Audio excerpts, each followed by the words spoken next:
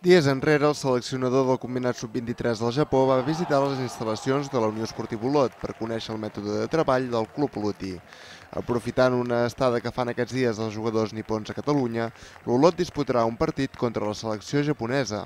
La Lliga del Japó, que només hi ha primera i segona divisió, llavors diguem hi ha una lliga d'universitats eh, joves, que hauria de ser una lliga de filials, per dir-ho d'alguna manera, i bé, tenen aquesta selecció sub-23 fent una estada a Barcelona, teoria preparativa de cara a la preparació dels Jocs Olímpics i la classificació.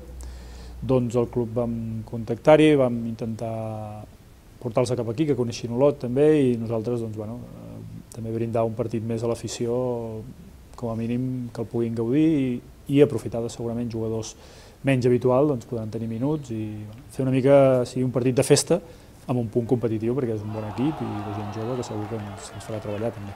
El partit serà el proper 12 de març a partir de dos quarts de sis de la tarda a l'estadi municipal d'Olot. Perquè hi assisteixi el màxim de gent possible, l'entrada és gratuïta.